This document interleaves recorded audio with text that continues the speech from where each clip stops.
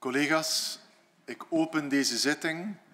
Op onze agenda staat nog de toelichting van de amendementen ingediend door de meerderheid. Dat is vorige keer nog niet gebeurd. En dan de finale stemming over het voorstel dat ik aan de leden heb bezorgd en uiteraard ook alle amendementen die daarop zijn ingediend. Monsieur Pietbeuf. Oui, merci beaucoup, Monsieur le Président. Avant euh, que les travaux ne démarrent, je voulais euh, faire une déclaration. Comme on a déjà pu le déclarer, euh, soit en séance, soit lors de contacts euh, bilatéraux, le MR que je représente ne partage pas toutes les recommandations que vous avez déposées et que vous avez pris la responsabilité de déposer en tant que président de la Commission. Il y a une grande partie qui recueille évidemment notre approbation. Par contre, le volet reconnaissance et réparation ne traduit pas notre ligne politique. On l'a dit à de nombreuses reprises, et on a proposé une formulation alternative calquée sur le discours du roi du 30 juin 2022. Et cette formulation avait recueilli l'accord du gouvernement et donc de la majorité. On l'a dit, mais sans succès. Cette partie des recommandations, donc, telles qu'elles sont déposées, ne repose pas sur un accord politique au sein de la Vivaldi, elle aurait dû être amendée et être présentée à nos collègues comme étant un accord de la Vivaldi sur l'ensemble des recommandations. Aucune euh, proposition n'a pu recueillir l'aval de tous, et je tiens à saluer vos efforts, Monsieur le Président. Vous avez pendant deux mois cheminé, essayé de trouver euh, une formule alternative, donc je ne remets absolument pas votre travail en cause vous avez essayé de progresser vers un accord euh, à ce sujet-là. Alors, évidemment, je regrette vraiment cette impasse politique, mais en tant que chef de groupe, je dois en tirer les conclusions. On ne veut pas, nous, participer à une quelconque majorité alternative sur une proposition qui serait faite, que ce soit ici ou ailleurs, sur une proposition de loi, euh, y compris sur des conclusions d'une commission spéciale comme celle-ci. Et donc, nous ne participerons pas à la suite des débats, puisqu'il n'y a pas un texte qui recueille l'assentiment euh, de la Vivaldi et qui est présenté au nom de la majorité. Donc, nous ne participerons pas au vote. Euh, ça, ne, remet en rien en cause la qualité du travail qui a été mené, et notamment par vous mais donc nous ne participerons pas aux travaux à partir du moment où la proposition qui est sur la table n'est pas une proposition consensuelle de la majorité Vivaldi. Voilà. Je vous remercie de m'avoir donné la parole.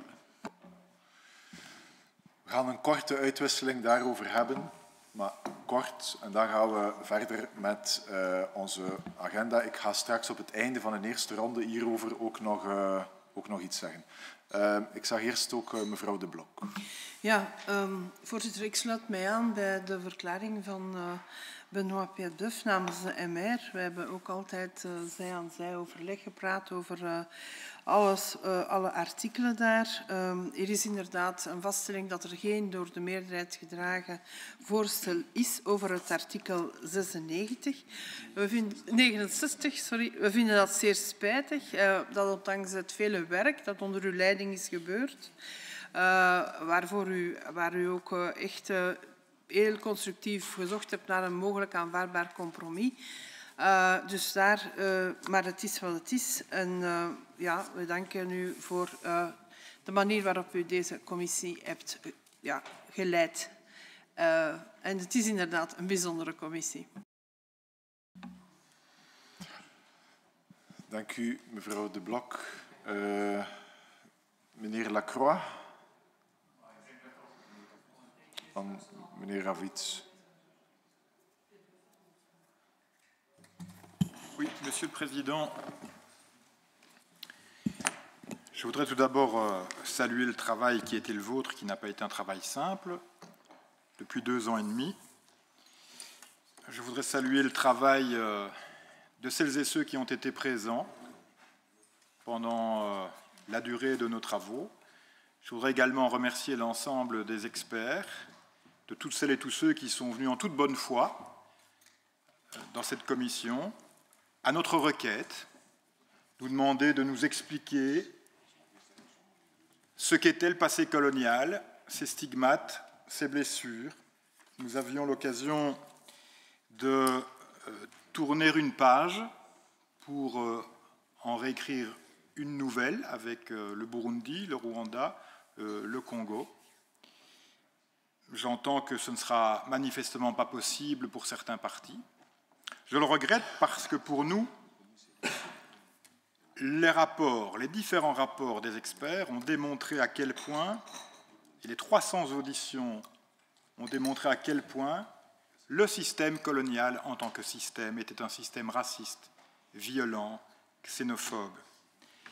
Et nous ne comprenons pas que devant un tel constat accablant, à l'heure où les Pays-Bas viennent de déclarer qu'ils allaient s'excuser pour le passé colonial de leur pays et mettre en place une fondation dotée de 200 millions d'euros, nous n'ayons pas la, maturité politique suffisante dans ce pays que pour condamner le système colonial en tant que tel, en disant qu'il n'y a aucun, aucun aspect positif à ce système colonial, que nous ne soyons pas capables de demander des excuses de la part de la Chambre et de l'exécutif, et que nous soyons incapables de mettre sur pied un fonds de réparation collective. Et donc, Monsieur le Président, je terminerai mon intervention en remerciant bien entendu celles et ceux qui, à côté de nous, nous ont accompagnés durant ces deux années et demie. Je pense notamment aux services, aux traducteurs, interprètes, mais également au secrétariat qui ont euh, passé pendant de longues et longues après-midi euh, du temps pour euh, construire euh, ce rapport, pour construire ce travail qui eût été, si nous pouvions le voter, un travail non seulement de qualité historique, mais de qualité politique remarquable.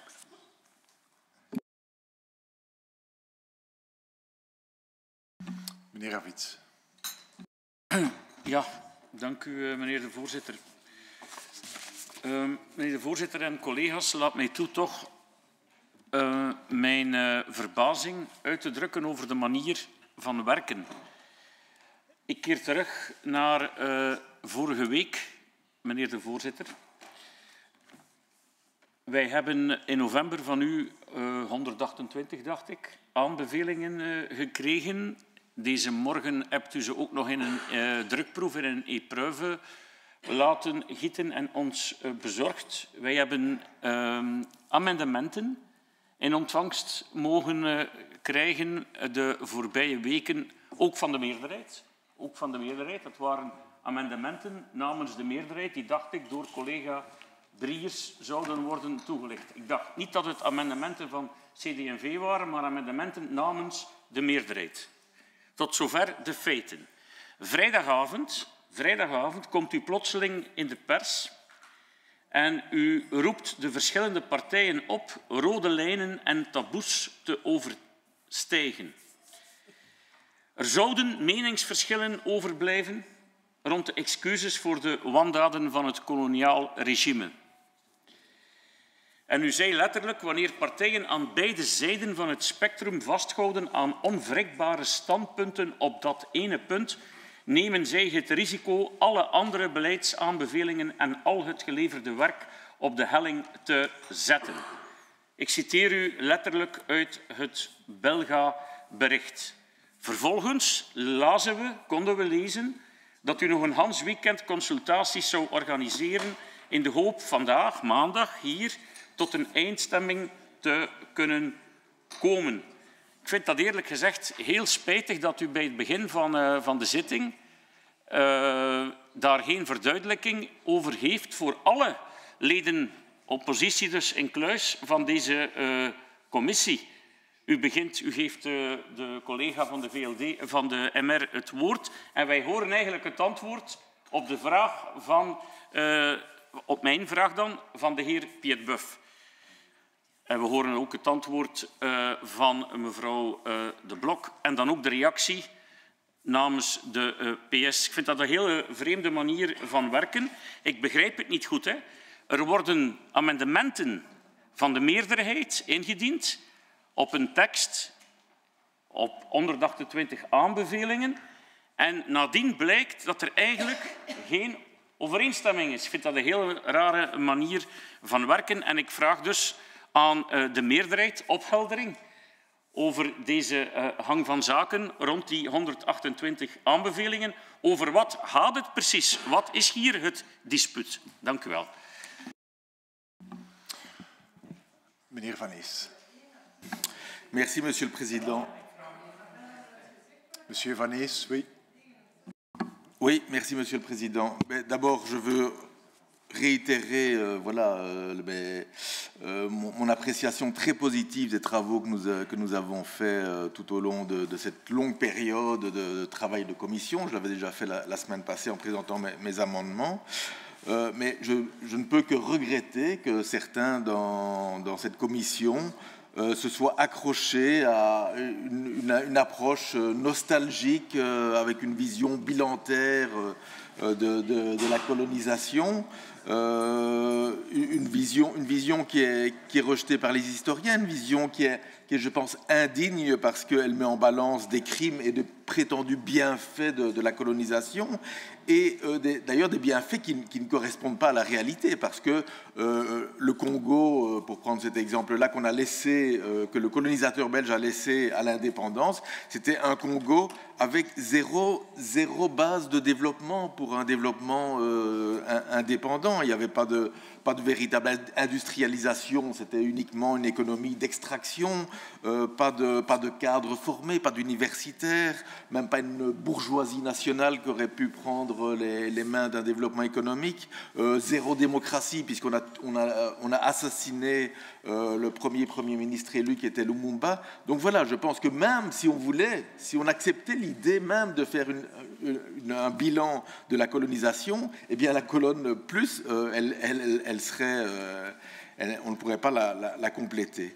Alors, je pensais moi du coup que le faible niveau, le, le faible niveau d'ambition de ces recommandations, parce que je l'ai dit euh, la semaine passée, je trouve que c'est très faible comme, euh, ambition ici par rapport, ça, ce pas, ça ne correspond pas à ce qu'on a entendu durant autant d'auditions et lors de notre mission au Congo, Rwanda, Burundi. Et je pensais que c'était très faible parce qu'il y avait eu un accord de majorité où on avait tenu compte euh, voilà, des, uns et des autres, et notamment des, nostalgiques du, passé colonial. Et j'apprends aujourd'hui, avec une certaine stupéfaction, je dois dire, que ce n'est pas euh, le cas. Euh, ce n'est pas le cas, et j'entends que ni le MR ni l'Openvelde n'entendent prendre, participer au vote.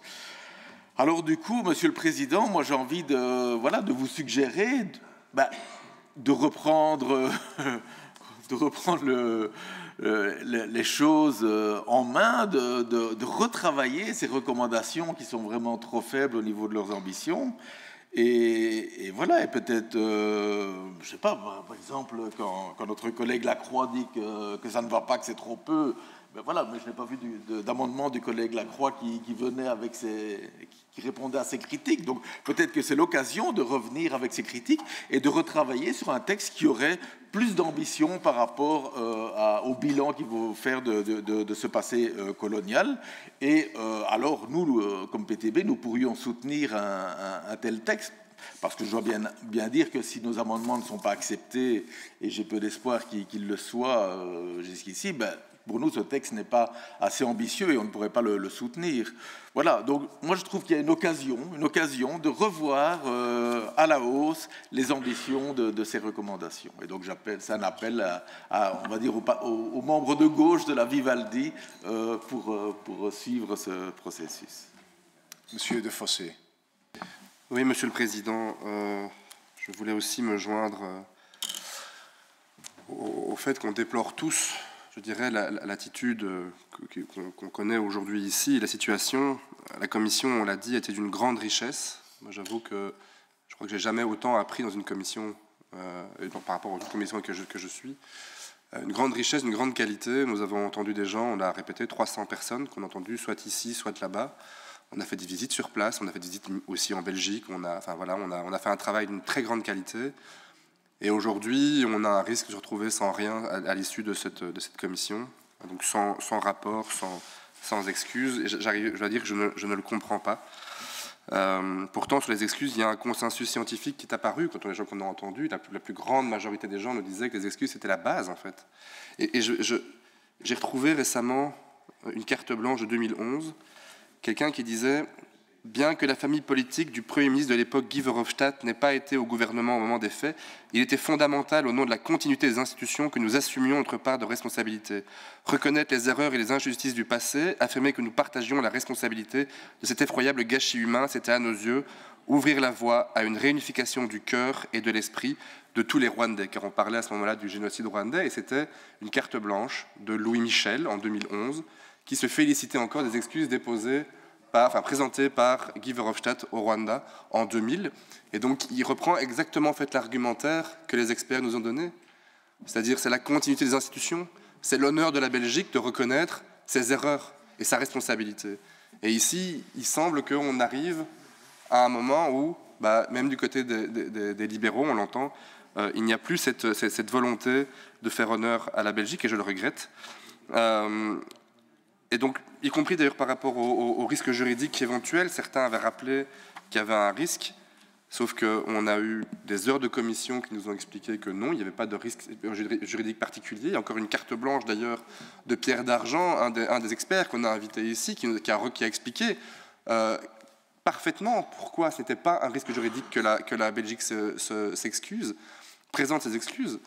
Et, donc, je, je, ne comprends pas vraiment cette attitude, et vraiment, je regrette, je regrette et je ne peux que l'analyser par une forme de dogmatisme colonial, et je trouve ça dommage. Aujourd'hui, je pensais que les mentalités avaient évolué, malheureusement, ce n'est pas, malheureusement pas tout à fait le cas. Et donc, je trouve que même sur le plan international, euh, notre commission était suivie. On avait un processus qui était euh, unique au monde qu'on avait lancé. Et donc, je trouve que ce serait dommage à la fois euh, pour l'image de la Belgique à l'international que nous, nous aboutissions à rien, en fait, sans, sans rapport, sans excuse. Et puis, une dernière chose aussi, c'est par rapport aux populations, aux anciennes populations euh, colonisées, euh, les Rwandais, les Burundais, les Congolais. C'est de nouveau une claque qui leur est, donnée s'il n'y a pas d'excuses. Et donc, voilà, je, le, regrette. On s'inscrit à nouveau dans un rapport de domination. Et, enfin, on continue en fait dans le rapport de domination et le rapport d'exploitation. De, et donc, je trouve, ça, déplorable. Mais on ne peut que constater aujourd'hui qu'il euh, n'y a pas de majorité pour avancer ces excuses-là. Meneer Briers.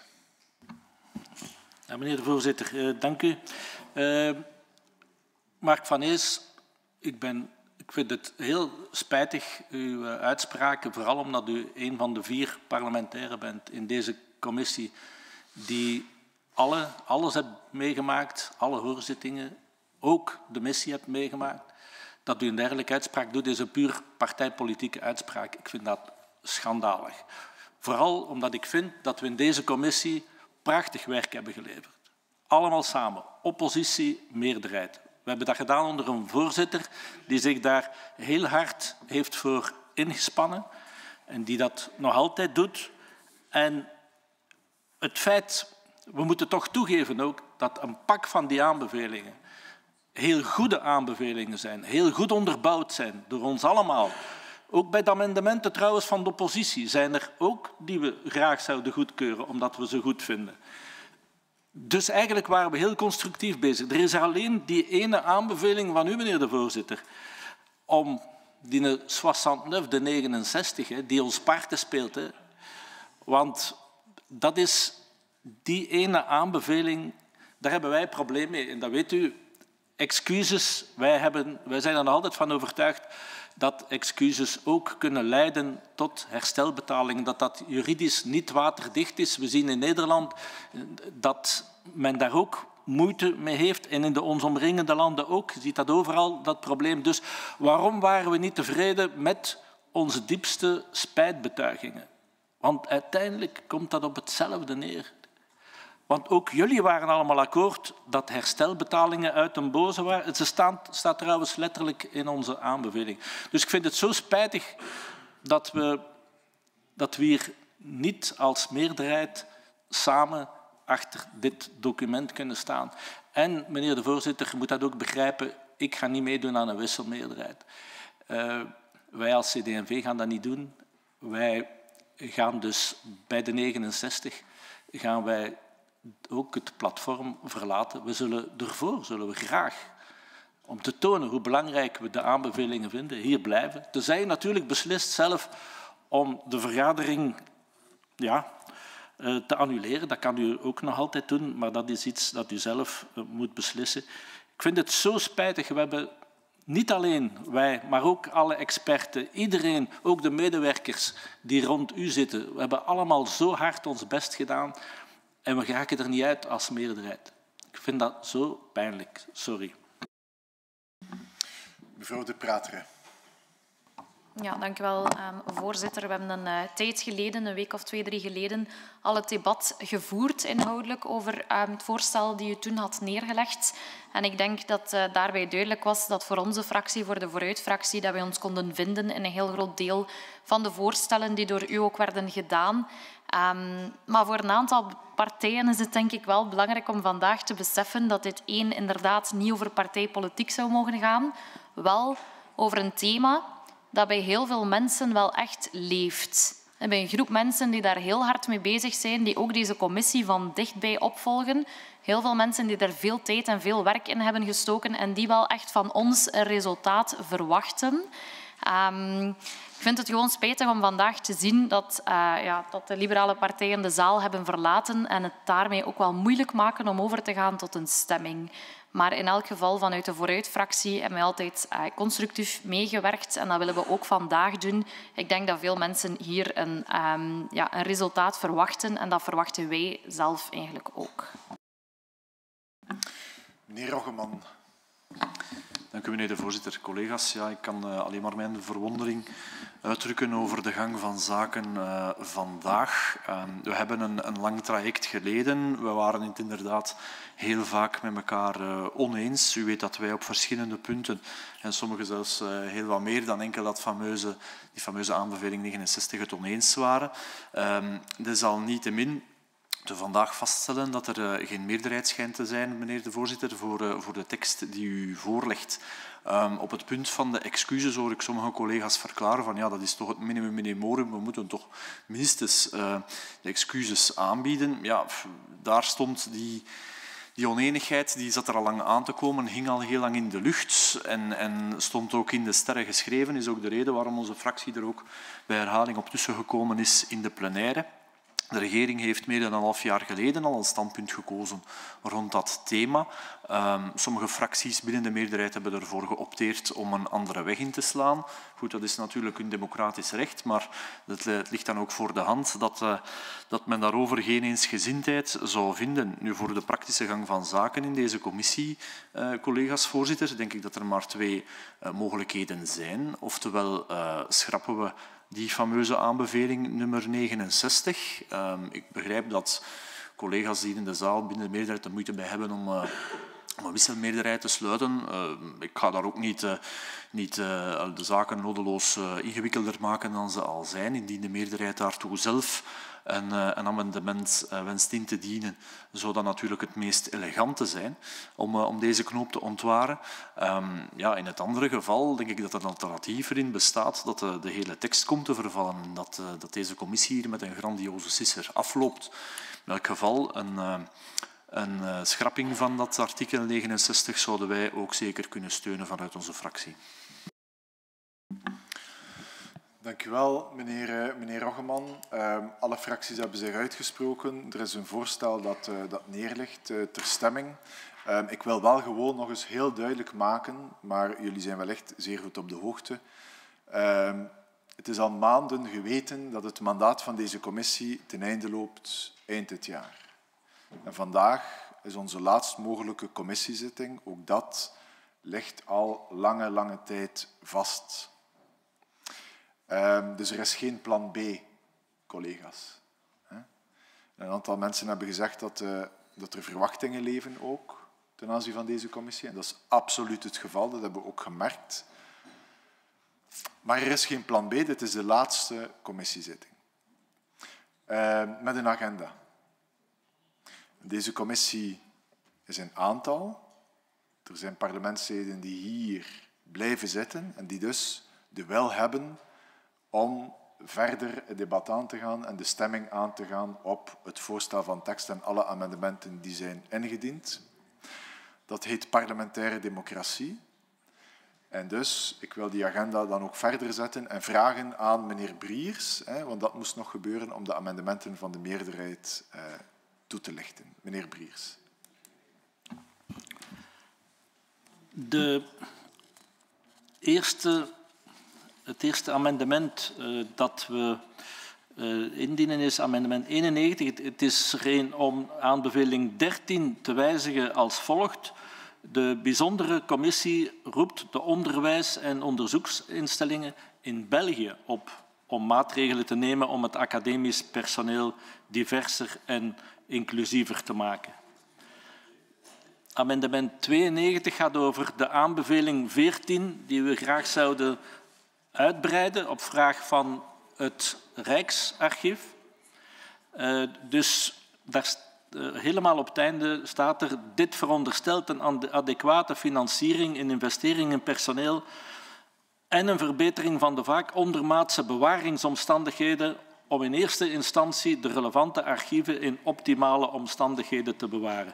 De bijzondere commissie nodigt de federale overheid, de gemeenschappen en de gewesten uit tot een herwaardering en herfinanciering van de sector van de archieven. De bijzondere commissie beveelt ook aan dat de administraties die geclassificeerde archieven bewaren, afkomstig van buitenlandse diensten, om ad hoc met hen contact op te nemen met het doel deze archieven te doen declassificeren. Dan hebben we amendement 93, de tussentitel na aanbeveling 17, wijzigen in FOD Buitenlandse Zaken, SPF Affaires étrangères. Dan amendement 94, de aanbeveling 19 wijzigen als volgt. De bijzondere commissie vraagt aan het Rijksarchief om de inventarissen van de archieven van het ministerie van Koloniën sneller aan te passen aan de huidige normen en een gebruiksaanwijzing toe te voegen om hun raadpleging, raadpleging te vereenvoudigen. Dan amendement 95 en 95 bis. De aanbevelingen 19 en 20 verplaatsen en invoegen achter aanbeveling 30 en ze dus overeenkomstig hernummeren. Dan uh, amendement 96, de aanbeveling 21 wijzigen als volgt. Dus voorafgaand aan wat er nu staat, de geclassificeerde archieven van Defensie declassificeren die worden bewaard bij het CHD, overeenkomstig de procedures voorzien door de wet van 11 september 2022 betreffende de invoering van een algemene declassificatieregeling van geclassificeerde stukken. De verantwoording daarvoor is wat we formuleren deze aanbeveling anders, omdat eerst de noodzakelijke maatregelen moeten worden genomen om de archieven te declassificeren. Daarna pas volgt de transfer. Anders zou het scheiden van de geclassificeerde en niet geclassificeerde archieven leiden tot groot verlies van informatie. Dan amendement 97. De aanbeveling 23 wijzigen als volgt. De bijzondere commissie vraagt dat de archieven van de kerken zouden worden opengesteld, geïnventariseerd en gedigitaliseerd door professionele archivisten. Dat is ook op vraag van, de, eh, van het Rijksarchief. En dan amendement 98 in de Nederlandse versie van aanbeveling 50. De woorden y compris vervangen door met in begrip van.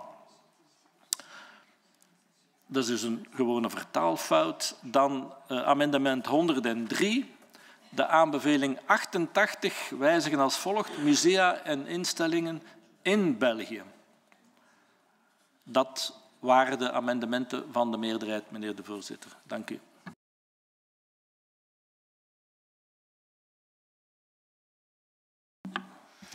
Dank u, meneer Briers.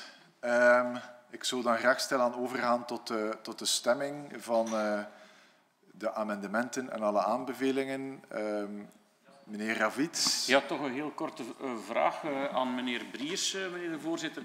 Meneer de Vries heeft hier amendementen toegelicht, gepresenteerd van de meerderheid. Dat zijn dan de amendementen waar de meerderheid het wel over eens is. Zo moet ik het juist inter interpreteren. Oké, okay, dank u wel. Mevrouw Pontier. Is er op dit moment een meerderheid aanwezig om uh, te stemmen? Kan u dat nakijken? De meerderheid is niet in aantal, mevrouw Pontier.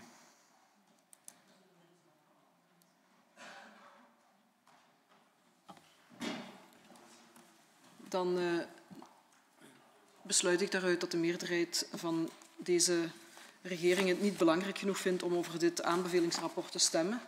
En dan zullen wij alvast uh, de zaal verlaten. Voorzitter, ik sluit me daarbij aan. Goed, Vlaams Belang en VA hebben zich uitgesproken, zullen de zaal verlaten. Ik heb ook begrepen van twee fracties van de meerderheid dat zij niet wensen te stemmen over een voorstel tot eindrapport van deze bijzondere commissie koloniaal verleden. Sta mij toe, collega's, uh, om zelf nog uh, iets te zeggen over deze gang van zaken vooraleer we schorsen of de zitting uh, opheffen. Collega's, um, er is, er is geen akkoord om de werkzaamheden van deze commissie te beëindigen. Op dit moment, vandaag, is er geen akkoord. De opdracht van onze commissie was om klaarheid te scheppen over het koloniaal verleden van ons land, lessen te trekken voor de toekomst en aanbevelingen en ook voorstellen te formuleren voor verzoening en herstel. En op momenten als deze, waar een parlement van een voormalige koloniale grootmacht het eigen koloniale verleden recht in de ogen kijkt, moet je eigenlijk het collectieve historische belang van ons werk erkennen en ook de eigen politieke berekeningen opzij schuiven. En dat is onvoldoende gebeurd. Er is intensief gezocht, ook dit weekend nog, naar een akkoord en een compromis. Maar er was onvoldoende bereidheid om binnen de Vivaldi-meerderheid naar een akkoord te gaan. De afstand tot de fracties van de oppositie was eerlijk gezegd, sta mij toe dat te zeggen, collega's, met alle respect voor u en voor uw aanwezigheid hier nog, maar die afstand tot de fracties van de oppositie was eerlijk gezegd sowieso um, te groot. Op het vlak van de excuses voor de wandaden van het koloniaal regime bleken de verschillen voor sommige fracties onoverbrugbaar, die tegenstaande veel tussenvoorstellen en een grote bereidheid tot compromis bij andere fracties. Mijn oproep vrijdagavond om het kind niet met het badwater weg te gooien en ondanks het meningsverschil over de excuses de andere beleidsaanbevelingen te stemmen, werd niet gevolgd.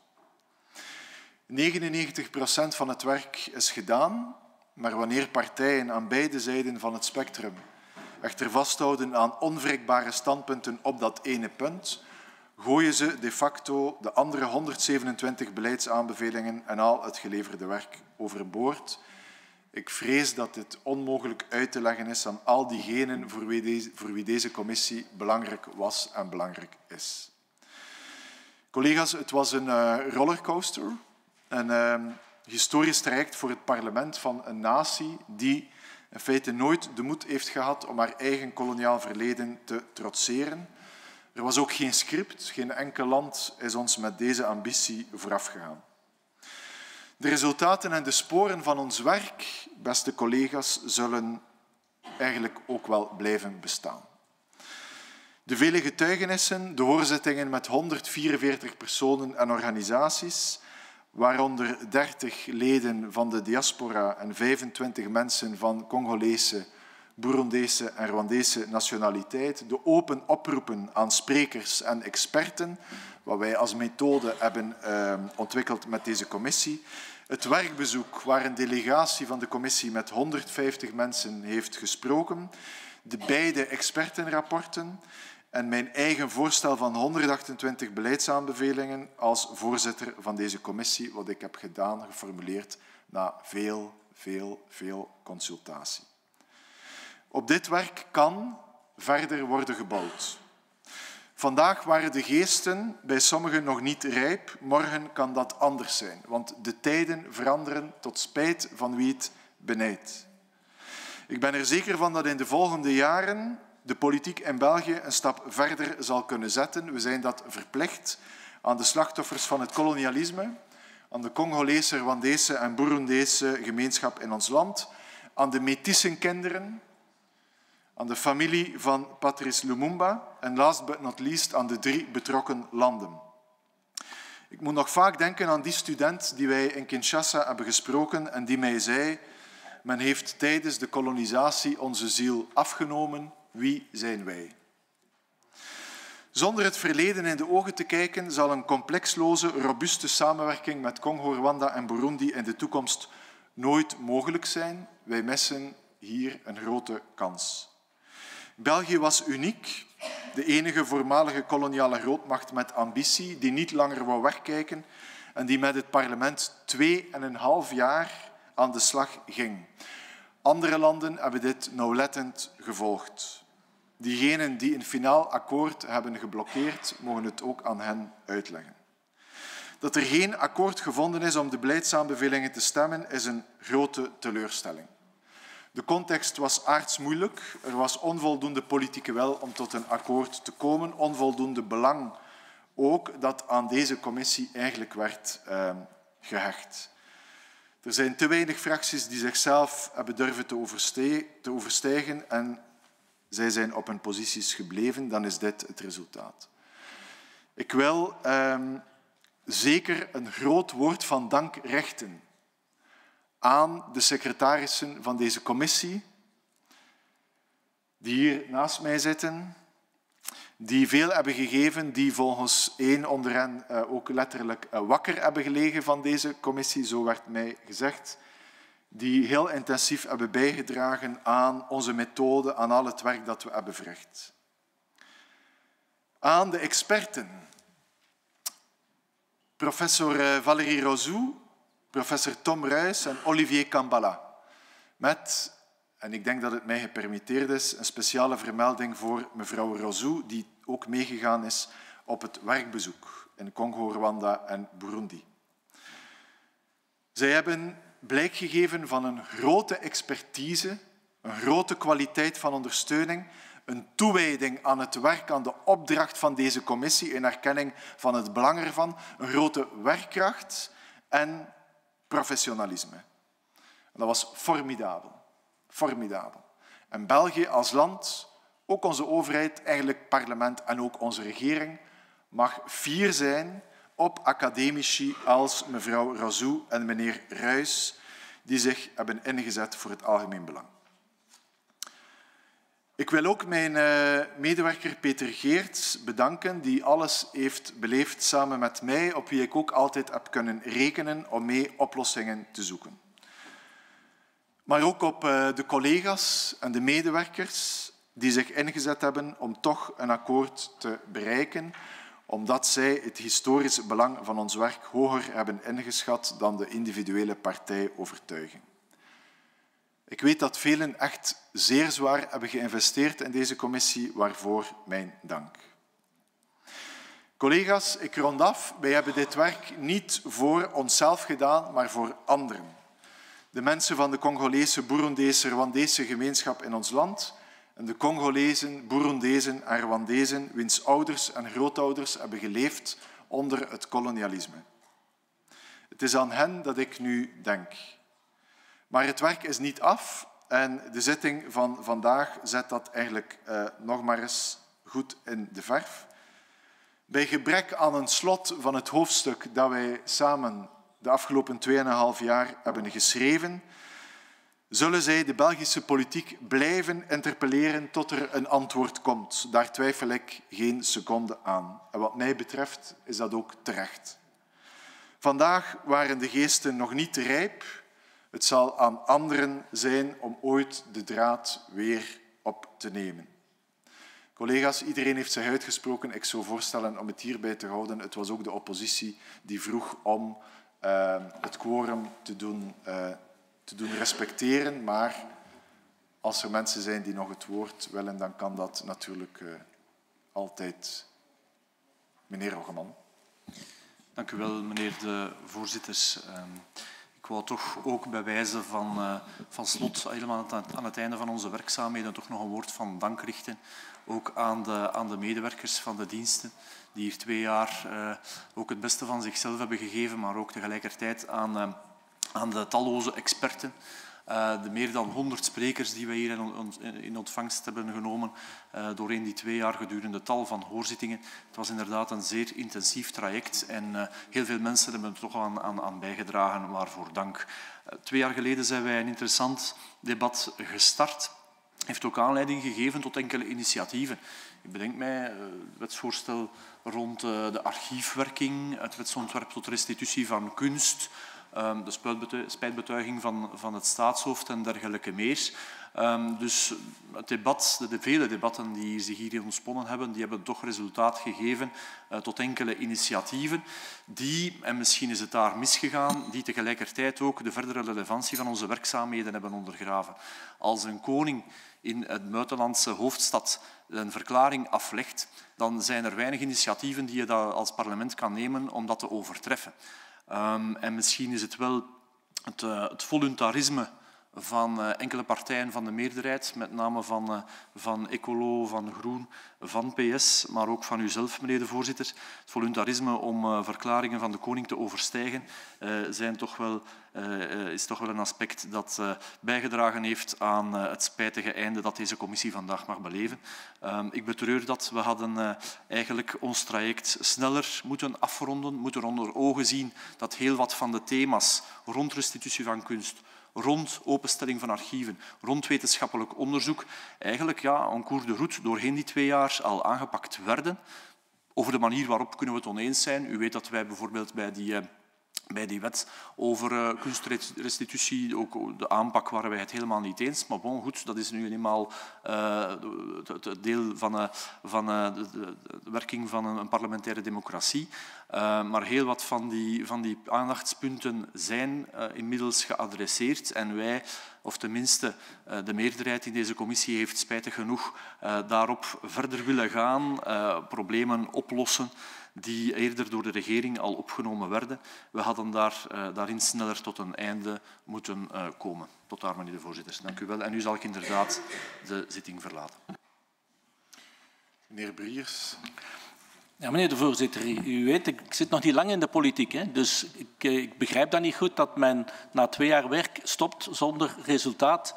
Uh, dus mijn vraag is, kan u echt niet naar de, de voorzitters de fractievoorzitters gaan en vragen om uitstel te krijgen en onze maand meer te geven, de 69 te schrappen en die te vervangen door eentje waar minstens de meerderheid kan achterstaan? Het staat alle fracties vrij om gelijk welk initiatief te nemen, uh, meneer Briers. Uh, monsieur de Fossé. Oui, Monsieur le, Président. D'abord, je pense qu'il s'agit ici d'un blocage qui est idéologique et qui ne se résoudra pas euh, en un mois. Mais donc voilà, effectivement, chacun est libre de faire ce qu'il veut. Je, partage, Monsieur le Président, votre votre émotion et même votre colère qu'on sent quand même un petit peu dans le fait que nous n'arrivons pas à avoir un accord aujourd'hui dans une commission qui, c'est vrai, en plus pour le groupe Écologoun est un peu particulier, euh, vu que nous, nous, étions les premiers en 2002 à demander l'existence de cette commission avec euh, Zoé Genot et Benoît Helling, c'est que donc effectivement nous étions fort attachés à la commission, ça a été rappelé d'ailleurs même par l'opposition euh, qui avait bien, bien compris ça. Je voulais juste vous dire aussi, parce que je ne l'ai pas dit dans la première intervention, mais Monsieur le Président, moi j'ai été frappé par le travail que vous avez fait pour essayer de réconcilier tout le monde. Alors évidemment, c'est un peu plus facile de nous de nous rapprocher, mais avec voir les autres, euh, les autres euh, parties de, la majorité et, même de, l'opposition. Je crois que vous avez fait un travail excellent qu'il faut souligner, de la même que pour les services que je voudrais euh, également remercier. Je crois que c'est très frustrant pour eux aussi de se dire après tout ça, nous arrivons, nous arrivons à si peu de choses, mais quand même dire que malgré tout, même si on ne vote pas sur ce texte, il restera toujours des traces dans les annales parlementaires du travail que nous avons fait. il y a le rapport des experts, l'excellent rapport des, trois experts qui nous ont accompagnés. Et j'espère qu'il euh, y, a des propos qui ont été tenus dans cette, dans, dans cette enceinte qui n'avaient jamais été tenus auparavant. donc c'est une, une avancée. Cette, cette, commission a quand même fait des avancées, il faut le rappeler. Et j'espère que ça permettra peut-être, ces travaux-là permettront quand même de faire évoluer la société. Et comme vous l'avez dit, qu'à, j'espère, le plus court terme possible, elle évoluera suffisamment pour que la Belgique puisse enfin faire face à ses responsabilités et puisse assumer son passé euh, sans, avec maturité. Voilà, je vous remercie. Meneer Lacroix en dan meneer Van Ees nog. Oui, mais je vais être très court, Monsieur le Président, puisque j'avais fait une intervention en, en préambule suite euh, à l'attitude des deux partis libéraux, euh, pour vous dire que, à titre personnel, je constate que des recommandations qui étaient l'objet d'un compromis de majorité a été remise en question par la composante libérale de cette majorité. Je le regrette. Et je trouve qu'en 2022, avoir des positionnements aussi conservateurs face à ce qui a été un drame qui a coûté des millions de vies dans les pays du Congo, du Rwanda et du Burundi, non seulement est une tâche sur le Parlement, mais est une tâche sur ce beau parti qu'était le Parti libéral.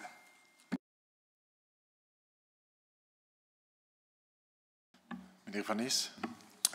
Oui, écoutez, Monsieur le Président, euh, voilà, je veux, à mon tour remercier euh, les, services qui ont fait tout ce travail euh, pendant tant de tant d'années, parce que ça, a duré plus, plus, plus d'un an. Les, experts qui ont travaillé pour, produire des rapports excellents et qui ont beaucoup travaillé. Euh, voilà, tout ça pour arriver à une situation euh, effectivement euh, malheureuse où il n'y a même pas, si, si M. Briers part, il n'y aurait même pas de, quorum, si, si j'ai bien compris. voilà, et, moi je dois dire que j'ai déjà vécu cette expérience sous la précédente législature avec la commission spéciale Panama Papers où on a aussi eu des experts qui ont fait un excellent travail, d'excellentes recommandations et là aussi, la droite a quelque part, bon, le, texte a été voté, mais euh, majorité de droite contre opposition de gauche euh, à, l'époque. Euh, voilà, et donc je constate en fait finalement un, décalage qu'il y a entre ce que les, historiens, les experts, le, monde associatif vient et, et, peut partager comme, comme constat, comme analyse, comme, comme, comme recommandation, et un monde politique, en tout cas une partie de, ce monde politique qui est vraiment sous, euh, en, dessous de tout, en dessous, des attentes de, la société, de, la population. Et c'est le cas ici pour euh, tous les, partis de, droite qui, euh, restent attachés à une, vis, une vision nostalgique du, colonialisme et finalement de, l'exploitation. Euh, parce que derrière le colonialisme, on a effectivement un système d'exploitation qui, qui est euh, au cœur de l'idéologie de, ces partis de, droite. Voilà, donc euh, c'est déplorable, même si je l'ai dit, je trouvais que ces, recommandations euh, n'allaient pas assez loin et, euh, et qu'on se serait abstenu pour cette raison-là, parce que non pas parce qu'on rejette une série de recommandations, mais pour le manque, le manque d'ambition qu'on qu qu y trouve. Mais effectivement, je, pense que, voilà, si, euh, qu'en tout cas, il y a tout le travail que nous avons fait n'est pas, perdu. Euh, il y a toutes ces, auditions que nous avons eues, elles se retrouvent dans, des rapports. Il y a, les contacts nombreux que nous avons eus lors de notre mission au Congo, Rwanda et au Burundi. Il y a le, travail des experts, et je pense aux deux rapports des experts. D'abord, le, rapport préalable, qui est aussi d'une richesse euh, incroyable, et puis le deuxième rapport, le rapport final des, experts également. Donc voilà, tout ce travail n'est pas perdu, euh, évidemment, et je pense que tout ce travail pourra servir de référence à tous ceux qui veulent s'inscrire dans euh, un mouvement décolonial. Dank u. Collega's, ik sluit deze zitting. Dank u wel.